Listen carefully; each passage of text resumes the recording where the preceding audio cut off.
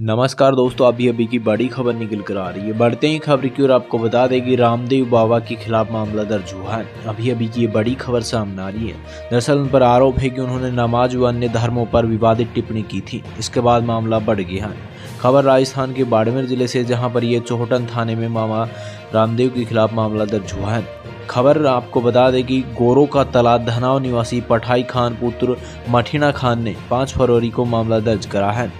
Report के मुताबिक 2 फरवरी को बाबा रामदेव बाड़मेर ज़िले की पनोनिया के तला में धर्मपुरी महाराज के मंदिर की प्राण प्रतिष्ठा प्रोग्राम में शामिल हुए थे, जहाँ पर उन्होंने इस्लाम धर्म और उनके अनुयायियों व इस्लाम धर्म की आस्था में विश्वास रखने वाले व्यक्तियों को लेकर जानबूझकर टिप्पणी की थी। इस बीच ये मामला बढ़ता गया है।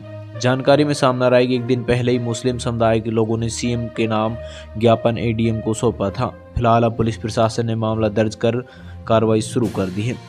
सो दोस्तों, प्रदेश भर की तमाम खबरों के लिए बने रहिए चैनल पर। नए विज़िट करें, चैनल को लाइक, शेयर, सब्सक्राइब करें। जय हिंद।